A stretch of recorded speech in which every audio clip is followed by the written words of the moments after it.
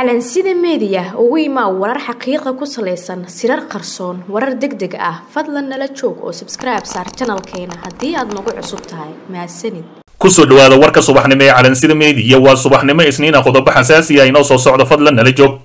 Xog xasaasiya awoodii doorashada oo lagala wareegay xafiiska ra'iisul wasaare rooble islamarkaasina doohane farmaajo iyo dilaaga qosle fahad yaasiin xaaji daahir ayaa si kasta u maamulaya doorashada xildhibaanada federaalk soomaaliya sida muuqata wasiirka koowaad ee xukuumadda soomaaliya injineer maxamed xuseen rooble ayaa waxaa lagala wareegay hirgelinta doorashada dalka ka socota ee isaga la rabay inuu dalka ku hogaamiyo. Muddooyinkii la soo dhaafay rooble ayaa laga waayey saxaafadda iyo ka hadalka arrimaha doorashada. Waxaa xitaa laga waayey inuu hambalyadii doorashada xildhibaanada guulaystay u soo diri jiray islamarkaasina gebi ahaanba waa uu ka aamusay boobka iminka lagu haayo kuraasta lama oga culayska arrintaani ka hor istaagtay master rooble inuu ka hadlo xaaladda doorashada oo u muuqata mid boob lagu hayo xilli ay jiraan dad cabanaya balse warkooda aan waxba ka soo qaad laga dhigin. Islamarkaasina maalin kasta dadkii ayaa cabaadaya. Waxaana u dambeeyey guddoomiye ku-xigeenkii koowaad ee baarlamaanka federaalk soomaaliya master mudey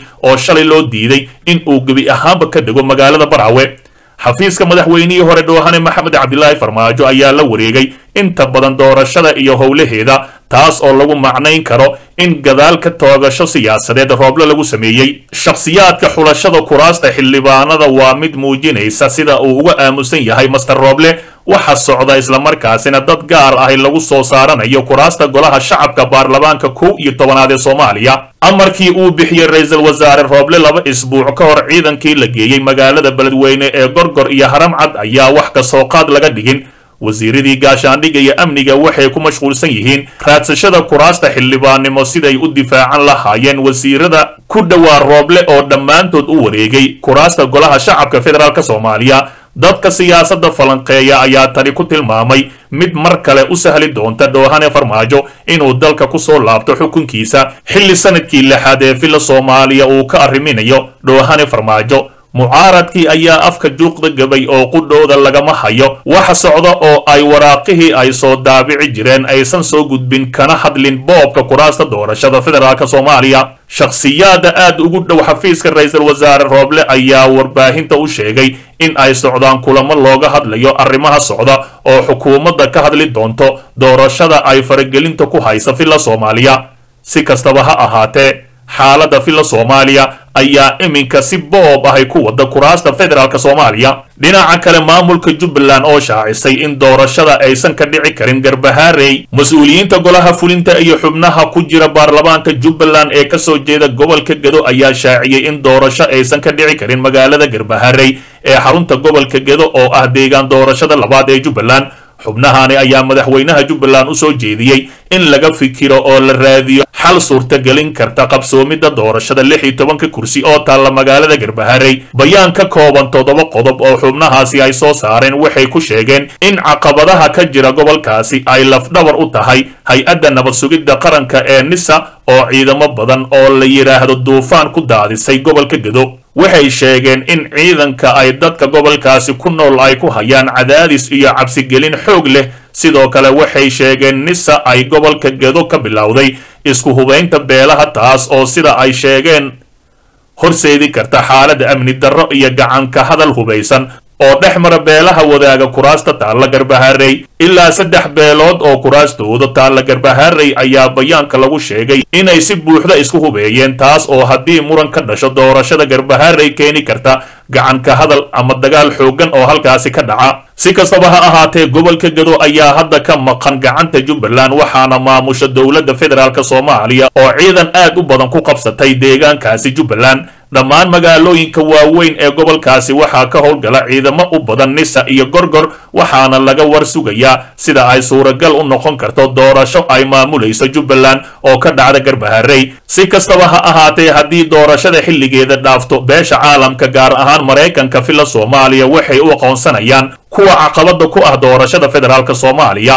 Islamarkaasina cunaqabataynta ayaa la soo dedejin doonaa farmaajo iyo fahad yaasiin ayaa ciidamo aad u fara badan ku haysta gobolkaasi gedo gaar ahaan garbaharey iminka jubbaland waxay taagan yihiin doorasho laguma qaban karo. Taasi waxaa laga warsugayaa bal sida loo maamulo hase ahaatee jubbaland markii gacanteeda lagu wareejiyo ayay doorasho ka dhici kartaa. Laakiin waxaa xaqiiqo ahi markii shan iyo labaatanka bishaani doorashada dhaafto keliya garbahaarayna ay dhiman tahay in villa soomaaliya gebi ahaanba dusha loo saaro cunaqabateyn xoogan fadlan dib u daaw wararkeenii hore ee calansida mediya xog xasaasi ah kooxda dilaayaasha ah nabad iyo nolol ay hogaaminayaan fahad yaasiin xaaji daahir iyo dhoohane maxamed cabdilaahi farmaajo. Ayaa maanta gebi ahaanba u diiday inuu garoonka ka duulo guddoomiye ku-xigeenka koowaad ee baarlamaanka federaalk soomaaliya master muudey horey ayaan u sheegnay kooxdaani dhagarqabayaasha ahi qof kasta in ay ku shaqaysanayaan kadibna ay albaabada ka soo xiranayaan. Rag badan oo caan ah ayay ku dhacday islamarkaasina maalmahan u dambeeyey dad badan oo caan ahi ayaa kuraastoodii laga boobay islamarkaasina villa soomaaliya ku danaysatay. Waxaana ugu dambeeya dhaawacaasi. Guddoomiye ku-xigeenkii koowaad ee baarlamaanka master muudey oo lagu xasuusto inuu toddoba daqiiqa ku riday ra'iisul wasaarihii hore ee soomaaliya xasan cali khayre. Islamarkaasina waa ninka sida khaaska ay arrintaasi u soo alifay. Waxaana uu isku soo daba riday qorshihii toddobada daqiiqa lagu ridayey hase ahaatee dhoohane farmaajo fahad yaasiin ay isku beel yihiin. Iyo guddoomiyihii hore ee baarlamaanka soomaaliya ayaa gebi ahaanba arrintaasi ka wada shaqeeyey. Hase ahaatee waa dhibanihii ugu dambeeyey ee villa soomaaliya albaabka ka soo xiratay. Waa uuna hadlay maanta markii laga celiyey diyaaradda. Guddoomiye ku-xigeenka koowaad ee golaha shacabka cabdiweli sheekh ibraahim muudey oo maanta goor sii horraysay laga hor istaagay in uu ka duulo magaalada muqdisho caasimadda soomaaliya ayaa ka hadlay qaabkii loo istaajiyey. Cabdiweli muudey ayaa sheegay in maamulka koonfur galbeed uu ka dambeeyey tallaabadii looga hor istaagay in uu tago magaalada baraawe oo ah deegaan doorashada labaad ee maamulkaasi fahad yaasiin farmaajo ayaa keliya amray maamulka koonfur galbeed islamarkaasina waxay yidhaahdeen gebi ahaanba ninkaasi oo diyaaradda raaci karin?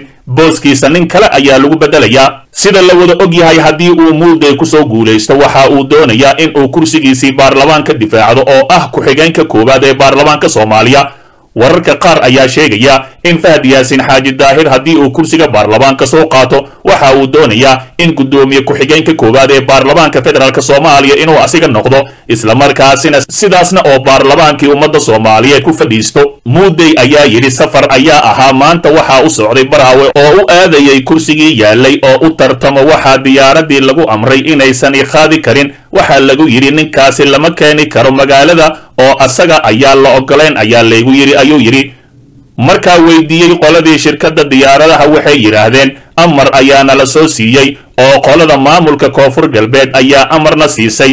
Qolada baraawe waxayna dhaheen haddii aad amar la'aan soo qaadaan muudey diyaaradoo idil waa soo ridaynaa ayuu yidhi. Arrintaasni waa arrin yaab leh ayuu yidhi muudey waxa uu intaasi ku sii diray in sababta u weyn ee looga hor istaagay in uu tago magaalada baraawe ay tahay inuusan u tartami karin kursiga uu iminka ku fadhiyo ee sumadiisu tahay hob boqol afartan iyo shan master muudey ayaa sidoo kale ka dhawaajiyey in qof gaar ahi loo wado kursiga isaga oo ka gaabsaday in uu si toos ahi u weeraro la taliyaha amniga qaranka fahad yaasiin xaaji daahir oo sida la fahamsan yahay ka dambeeyey tallaabada lagu celiyey maanta. Tani waxay caddayn u tahay qof kasta oo la shaqeeya dhoohane maxamed cabdilaahi farmaajo iyo dilaaga qosle fahad yaasiin xaaji daahir. Qofka marka ay ku shaqaystaan gebi ahaanba si weyn ayay u bahdilaan asiga oo sii hadlayay muudey ayaa waxa uu yidhi ummadda soomaaliyeed waxaan u sheegayaa iyo beesha caalamka intaba in uu maanta xadgudubkaasi igu dhacay. Sababta loo diidan yahay in aan meesha tago waa in aan u tartamo kursiga ayuu yidhi. Waxaa iska leh kursigaasi qabiil ee qof gaar ah iskama lahan. Ugu dambayntii waxa uu sheegay in uusan marnabo ahayn nin loo hanjabi karo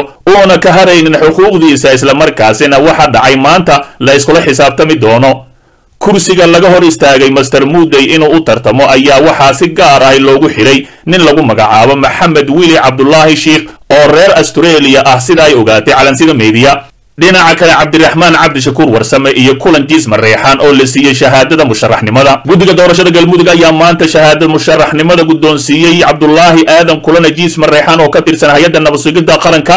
Sidoo kalena ka mid ah saraakiisha lagu eedeeyey dilka ikraan tahliil faarax cabdulaahi kulane oo u sharaxan kursiga hob eber afartan ayaa waxaa la tartamaya xasan cabdi jaamac oo la rumaysan yahay inuu yahay musharax malxiis ah iyada oo la filayo inuu kulan jiis mareexaan halkaasi kursiga ku qaato. Sidoo kale guddiga ayaa shahaadada musharaxnimada siiyey. Siyaasiga weyn cabdiraxmaan cabdishakuur warsame oo ka mid ahaa musharaxiinta sanadkaani u taagan xilka madaxtinimada soomaaliya. Cabdiraxmaan cabdishakuur warsame oo raadinaya kursiga hob boqol soddon iyo sideed ayaa waxaa booskaasi kula tartamaysa naciimo xuseen cali oo iyada la rumaysan yahay in ay tahay malxiis iyada oo la filayo inuu cabdiraxmaan si fudud halkaasi kursiga ku qaadan doono. Dhanka kale waxaa shahaadada musharaxnimo la siiyey faarax cabdi diini oo ka mid ahaa wasiirada galmudug kaas oo u taagan kursiga hob eber eber toddobo. Si kastaba ha ahaatee birita ayay dhacaysaa doorashada islamarkaasina waxaa la filayaa cabdiraxmaan cabdishakuur warsame inuu halkaasi ka soo baxo. Sidoo kale dembiilaha weyn dilaaga weyn kulanjiis mareexaan ninka qaraabada ay yihiin dhoohane maxamed cabdilaahi farmaajo ayaa asigana halkaasi la filayaa in ay odayaashiisa u codeeyaan dhegaystow ogow haddaadan xalka qayb ka noqon waxaad qayb ka tahay dhibaatada dalka